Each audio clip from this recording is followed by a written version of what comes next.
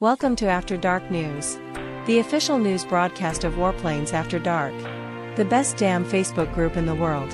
Remember, if you didn't see it here, it didn't really happen. Well, it's that time again.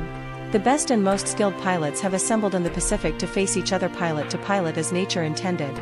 The rest of them have decided to joust. That's right, the jousting tournament is here again. Before we get to this week's scores, let's talk about what's different this season. We caught up with founder and tournament coordinator, Kama Striker. He said quote, get your Spitfire ready warplanes pilots, the VFP jousting tournament has returned. The tournament rules remain largely unchanged, sign up to guarantee a spot, one set per pilot a week, crashes after the countdown count as a loss, short-handed rooms have a scoring advantage, end quote. When asked about any rule changes he said, quote, if pilots fail to get each other by the third pass no points will be awarded. The two combatants will be reset by their teammates and the next two pilots will take to the air, end quote.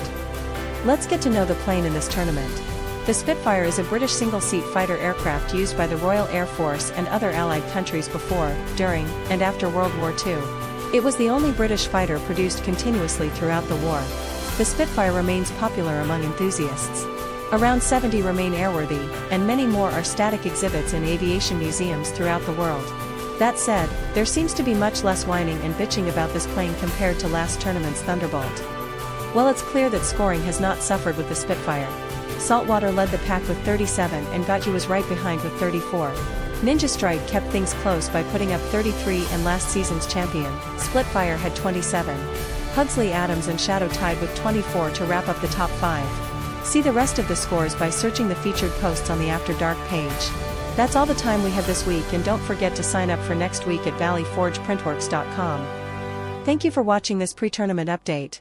Stay tuned for weekly updates. Don't forget to check out the tournament sponsors, Valley Forge Printworks, Manpain Gear and Time Twisted, the official swag shop of the After Dark group. This has been an After Dark News special edition and remember, that is the news the way we see it.